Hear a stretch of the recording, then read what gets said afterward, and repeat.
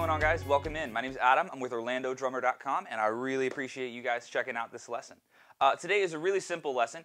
We're learning a two-bar phrase and it's going to be in 16th notes. So we're learning a total of 32 notes and you could phrase that as 30-second notes if you wanted to.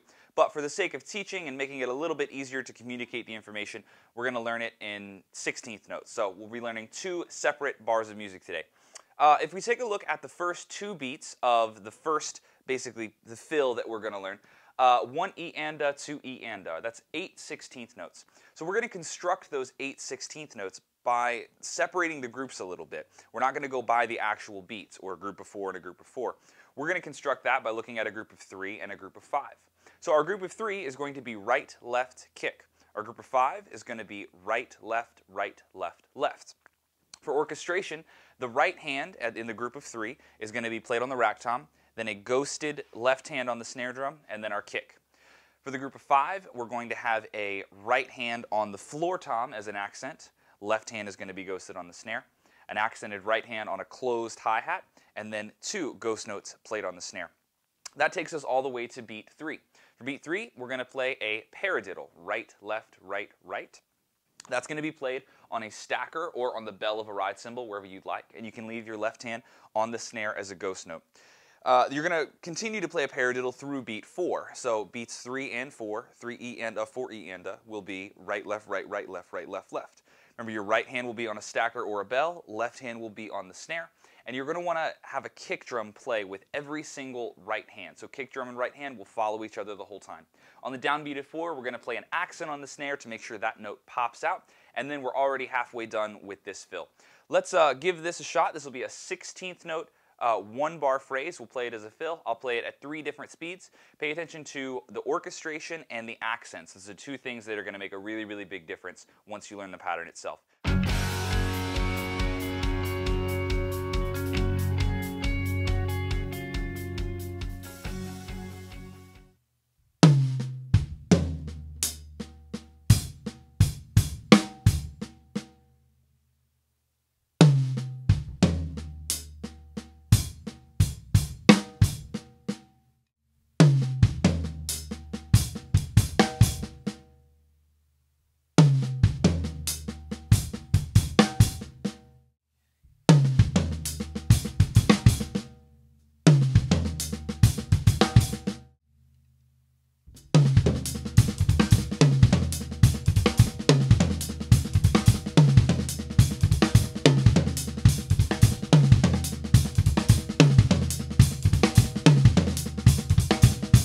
Right, guys, if bar one is feeling all right and you have that down, those orchestrations are comfortable, the accents are easy for you to pop out, then you're ready to start the second bar.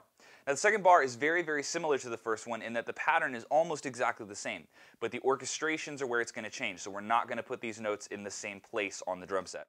So now, let's take a look at beats one and two again. We're going to construct them in a very similar way. We have a total of eight notes, and we're going to get those eight notes by playing a group of three and then separately playing a group of five. The group of three is going to be exactly the same as the first time. An accented right hand on the rack tom, a ghosted left hand on the snare, and then a kick drum. The group of five is going to be slightly different. We're going to be playing four single strokes, right, left, right, left, and then a kick drum. That's going to complete our group of five. For orchestration, the very first right hand on those four single strokes will be accented on the rack tom, and the second one will be accented on the snare.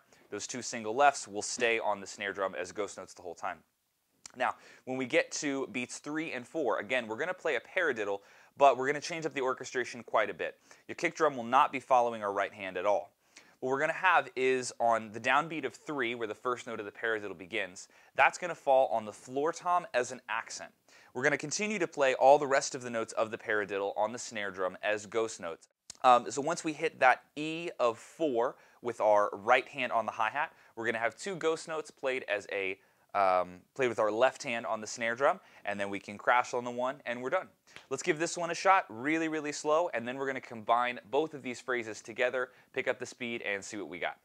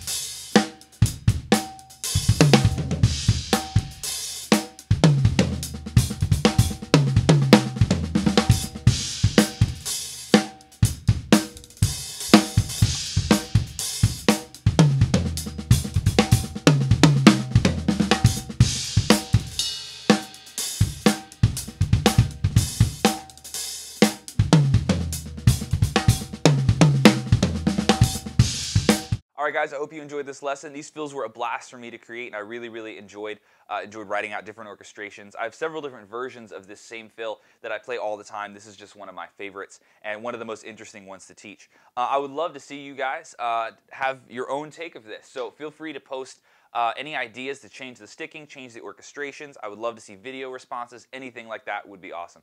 Uh, thanks so much, guys. I hope you enjoyed it. If you have any questions, feel free to leave them here in the comment section, or you can contact me through Facebook at facebook.com slash the Orlando Drummer. And again, my name is Adam. I'm with OrlandoDrummer.com, and I'll see you guys soon. Thanks.